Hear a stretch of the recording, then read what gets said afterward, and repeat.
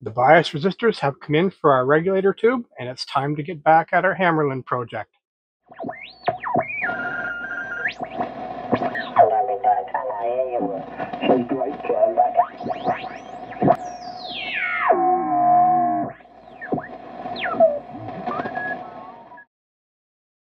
Well, good day, everybody, and welcome back to Mike's Radio Repair and Restoration. Long time no see.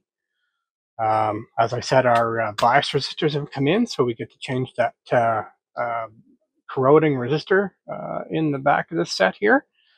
Um, since we last spoke, um, I've used this receiver off and on, and uh, the uh, the 5U4 tube died on it. Um, I was actually in the room here, and I could hear an actual arcing, and I looked over at the set and the dial lights were flashing. Um, as I got closer to the set, I could hear arcing coming from the power supply section, and I noticed that uh, um, there was some bad things going inside, going on inside that tube, and uh, it quit. Luckily, I had a good use spare in stock, so I popped it in, and away it went.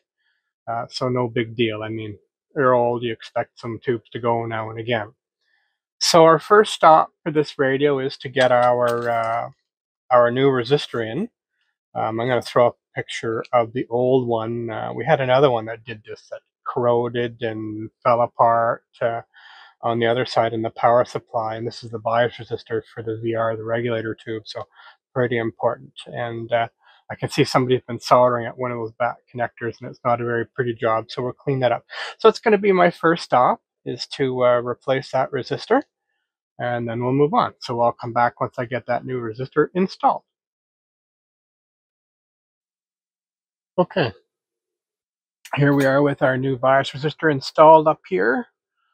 Um, and I'm doing some voltage checks.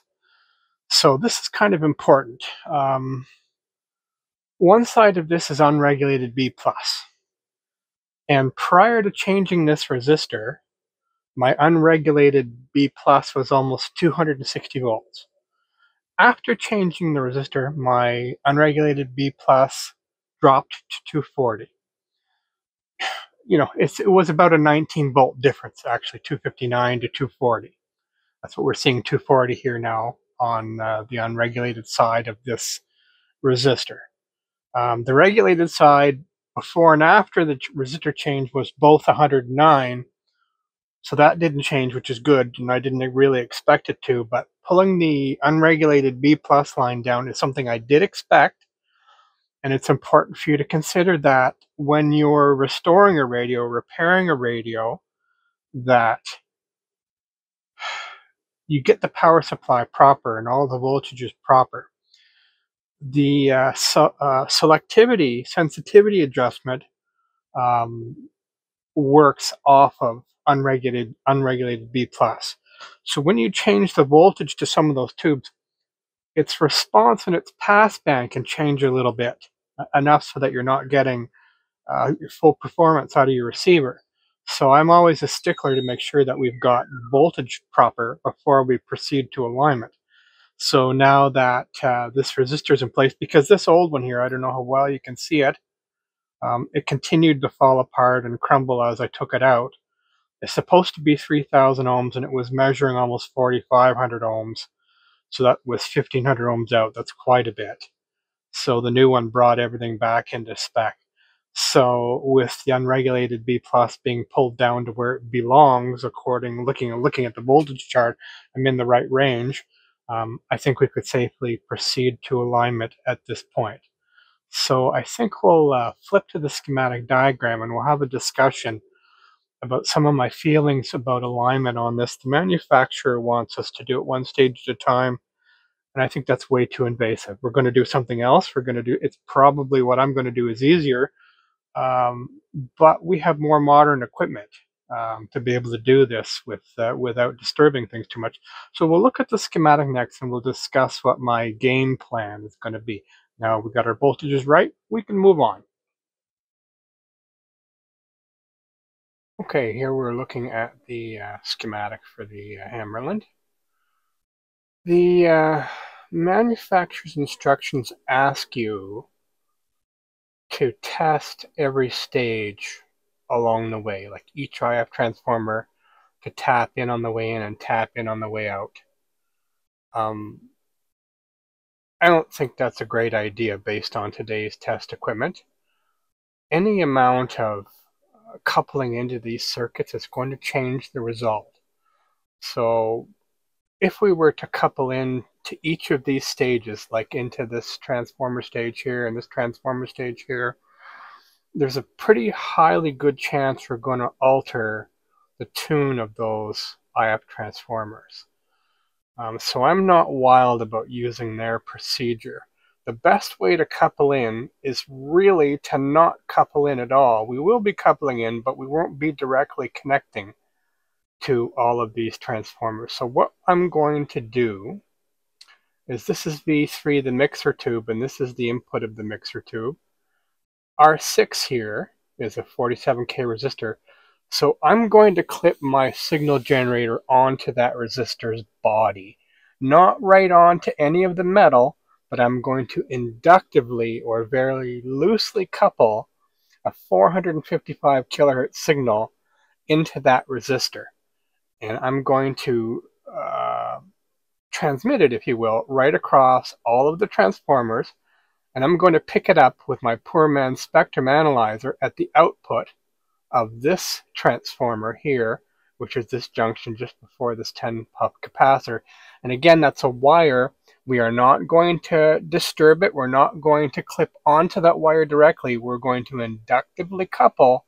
We're going to put an alligator clip on that, maybe with a little bit of tape or a little bit of insulation from a wire um, so that we don't damage the wire. We're not directly going to connect to that uh, lead we're going to very lightly inductively couple. This way we're not adding any stray capacitance or inductance or anything that can change the results of any of these transformers. So hopefully we'll get a decent image on our spectrum analyzer screen that will allow us to go through and tune these transformers and it's going to allow us to take a peek at how the uh, the crystal filter is working and probably going to have to make some adjustments there based on um, how I see it operating right now. I don't think it's I don't think it's set up proper, but our poor man's spectrum analyzer should give us what's called a, a visual alignment.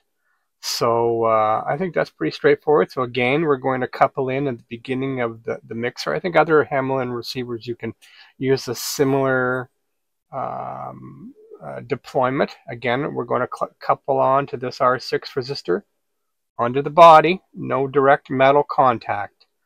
And back down the other end, we're going to clip on here, and again, not directly to the wire, but just inductively or very, very loosely coupled to that wire. We're going to just pick up some of the signal radiating through that wire. Now, what I'm going to do is I'm going to put test leads on both of those points, being that R6 resistor and this output wire here, and I'm going to come out and I'm going to bring both of those test leads to a 0.01 capacitor. Uh, so before it goes to the signal generator, it'll go through a 0.01 capacitor, and same with the poor man spectrum analyzer, it'll go through a 0.01 capacitor. Now I may need to change that up or down based on sensitivity, but that's going to be the initial setup. So I'm going to begin uh, doing that setup now, and uh, we'll see uh, uh, we'll see what it looks like. Okay, so one of the first things that we need to do, we need to figure out where the crystal center is. Obviously, the crystal isn't perfectly on 455 kilohertz. It's probably one side or the other. And if you look at the screen here, you can see the pass band of the IF. And this spur here is the signal being generated exactly at 455 kilohertz. So the center of our pass band is 456 kilohertz, uh, well, 456.436. So that's going to probably be our crystal center. We can kind of confirm that by turning it on here now. 455.545. 455.545. So that's what we should be tuning our uh, our signal generator center to. So I'm just going to stop and get that done. Okay, I've done quite a bit off camera because somebody really, uh, I guess they put their best foot forward and tried to align this radio. Uh, it was quite a ways off, and I've actually spent at least an hour and a half getting it uh, to where it is now. So, but I mean, uh, it's really not hard. so what I'm doing now is, as I said, I'm feeding in a signal from my generator.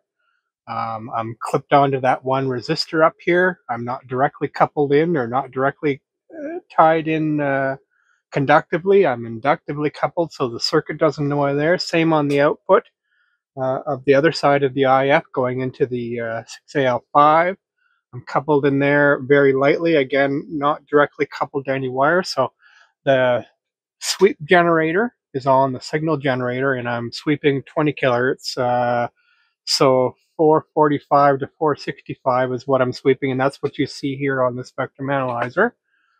Um, so basically, all I've done um, is I've tuned all the main IF transformers for a maximum peak here on the uh, IF frequency that we determined this crystal radio, the crystal in the radio was using. So, and I got a nice curve. I've got a nice response curve. The crystal filter I knew was kind of messed up. I know I could pull a good notch on one side, but not really on the other. And that's really where I spent the time. So there is, I believe, T2 and L2 in the same can. And T2, I just peaked for maximum throughput without the crystal filter on. And then L2, I have adjusted till I can get an equal notch on either side. And let's go through that now. But I mean, this is a nice, nice pass band. It's peaked up. It's looking really good. So if we go into the second step of the IF or the uh, crystal notch filter, we can see basically it's pretty straight, which is kind of nice. And if I dial it down one way, you can see I'm beginning to pull up a very heavy notch on this one side, and that's just beautiful. And if I dial it the other way, and you can see I'm pulling up that same notch on the other side. That's just an absolute treat. So, I mean, if you're trying to notch out a, an, an, offending broadcast station, you can certainly do that. So, that's uh, that's pretty cool. That's uh, I like that. So, uh, and once again, bringing it up to the center.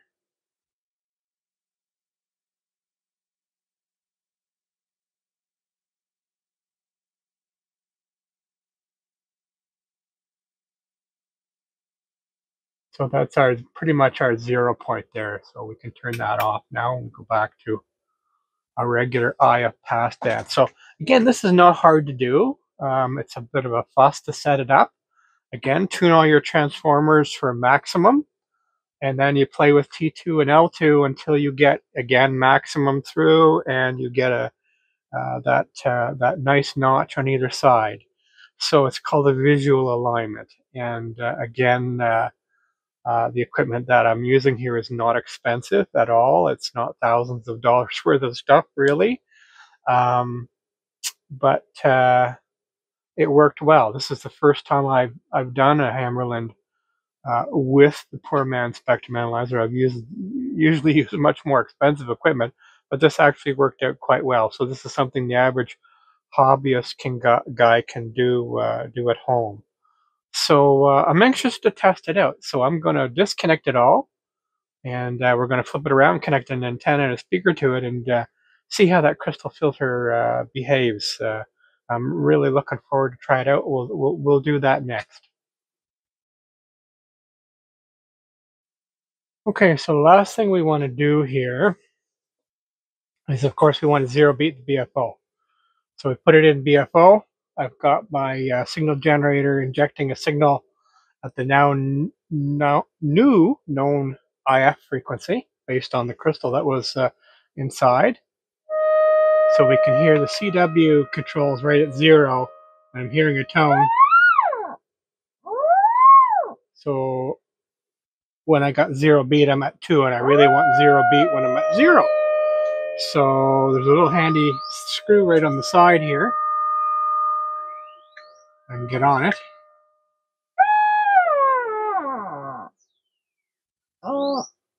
And there we go. We've zero beated our uh, our uh, our BFO. So now we can uh, screw an antenna on it and see how it does. Okay, well, let's uh, have a listen. I think I got a couple of guys on uh, AM 40 meters. So I thought I would just fire up for a few So this is uh, no filter. Says V3 will come. Yeah, okay, very good. Um, yeah, good signal here. Uh, So you can Ranger, completely um, clean up, one- narrow up the bandwidth uh, good, good, uh, with the Crystal filter. The, uh, on the scope here, you know, on the uh, spectrum, uh, on the on the panadapter there, it's uh, really nice uh, on the spectrum. Spectrum display there. So uh, you got equal uh, upper and lower sideband, and you know, good. So so that's working good. and it sounds great.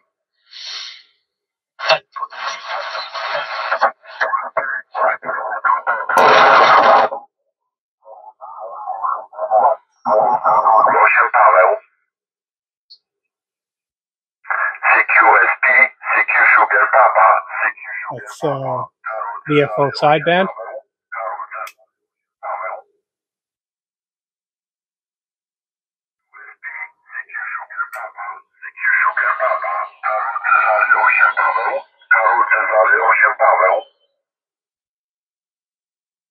CQSP, CQ Sugar Papa, CQ Paweł, Karol Cezary 8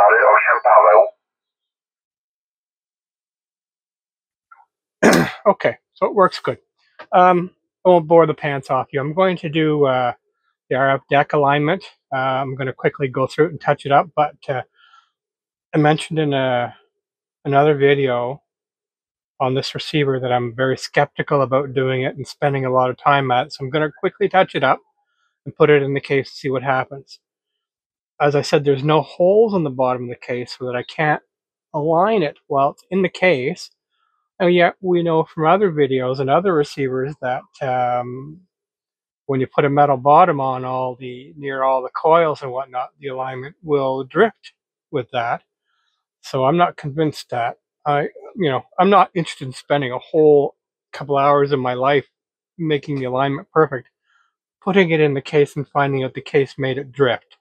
So I'm going to touch up the areas that are kind of sort of questionable and uh, put it in the case and try it. And if it doesn't change, maybe I'll pop it back out of the case and uh, and do a better alignment on it. Uh, um, but anyway, so uh, I guess that's pretty much it for this whole girl. Um, we uh, dealt, dealt with the power supply issues and the filter caps and the resistors, and uh, we put the IF back on track. We put the crystal filter back on track, and uh, got the BFO cooking along pretty good. It uh, seems to be working pretty good. All in all, a nice receiver.